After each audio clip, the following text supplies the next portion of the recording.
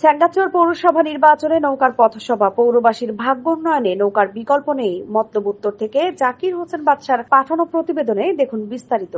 চাঁদপুরে মতলব উত্তর উপজেলা ছ্যাঙ্গাচর পৌরসভা নির্বাচনে আওয়ামী লীগ মনোনীত প্রার্থী, নৌকা প্রতীকের মেয়র প্রার্থী মোহাম্মদ আরিফুল্লাহ সরকারের নৌকা প্রতীকের সমর্থনে গণসংযোগ ও পথসভা করেছেন উপজেলা পরিষদের সাবেক চেয়ারম্যান মিজানুর রহমান এসি মিজান।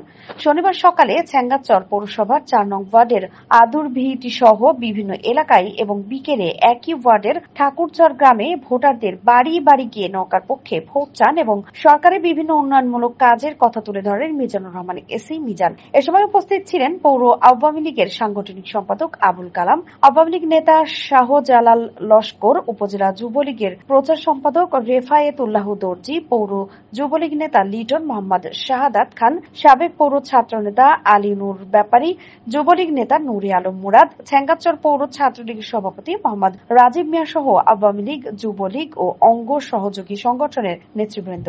মিজানুর রহমান বলেন ছ্যাঙ্গাচর পৌরবাসীর ভাগ্য উন্নয়নে নৌকার বিকল্প নেই। নৌকার প্রার্থী বিজয়ী হলে ছ্যাঙ্গাচর পৌরসভা হবে স্মার্ট পৌরসভা। তাই আগামী সতেরোই জুলাই ছ্যাঙ্গাচর পৌরসভার নির্বাচনে আওয়ামী লীগের দলীয় মনোনীত নৌকা প্রতীকের প্রার্থী আরিফুল্লাহ সরকারকে বিজয়ী করতে হবে। তিনি আরও বলেন ছ্যাঙ্গাচর পৌরসভা নির্বাচনে আওয়ামী লীগ মনোনীত মেয়র প্রার্থী আরিফুল্লাহ সরকার একজন মুক্তিযোদ্ধার সন্তান, সৎ, শিক্ষিত, তাই মাননীয় প্রধানমন্ত্রী শেখ হাসিনা তাকে নৌকা দিয়েছেন। আমাদের দায়িত্ব হল নৌকা প্রতীকের বিজয়ী করা।